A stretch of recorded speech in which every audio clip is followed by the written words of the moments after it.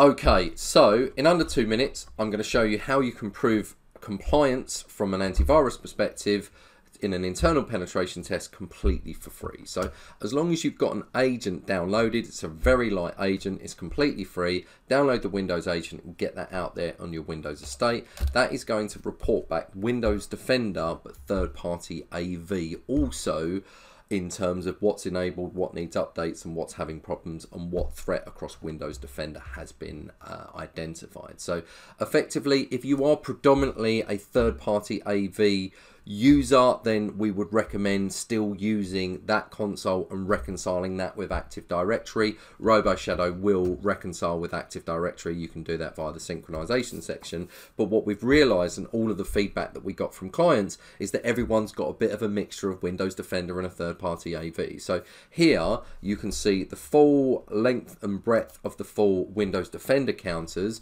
but on this nice neat dashboard, it will also tell you if there's any third party AV installed on a per machine. You can go into a lot more detail for anything that comes up there, but we'll also tell you things like if there's no AV at all, but whether or not it's real-time protection that's not enabled on on or on access scanning or anything like that. This will also alert back to your central help desk system as well, and that allows for overall compliance. So really to demonstrate on an internal penetration test, it needs to be centrally reconciled with Active Directory or Google Workspaces. Azure Active Directory is also good enough. That is also functionality within RoboShadow in the synchronizations section. You need to make sure that you're able to see what's got actual threats on it, whether it's enabled, and whether or not it's updated as well. So this is a nice, neat little console, completely for free, that you can use to help manage AV and Windows Defender in a typical Windows estate. So thanks ever so much for watching.